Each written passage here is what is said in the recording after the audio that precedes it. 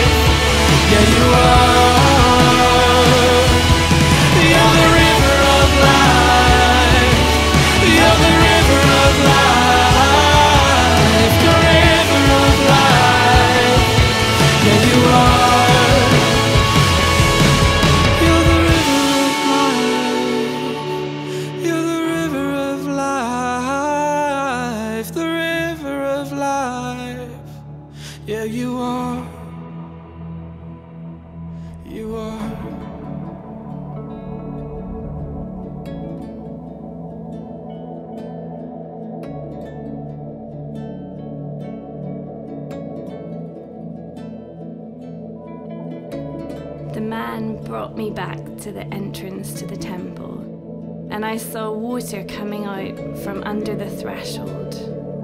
Deeper and deeper this water grew until it was deep enough to swim in, a river that no one could cross.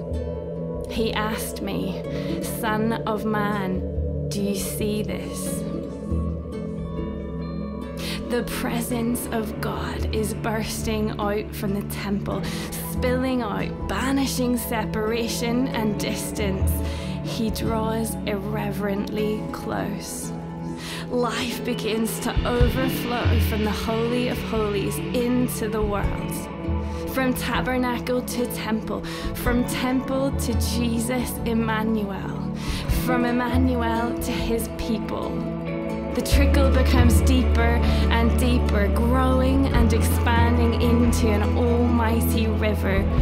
And this river is bringing life to everything it touches. The presence begins to saturate the city. That which was dead comes to life. You see, this river moves in only one direction towards death itself. The river of life flows into the Dead Sea, and its salty water becomes fresh. Where the river flows, everything will live. When it goes towards death, death doesn't overcome the river, the river overcomes death. So, what is this holiness? Son of man, do you see this? Is the holiness revolution that is started by Jesus and commissioned to us. The presence of God is no longer contained from contamination in the Holy of Holies. The presence is bursting out from the sacred place and towards the unholy,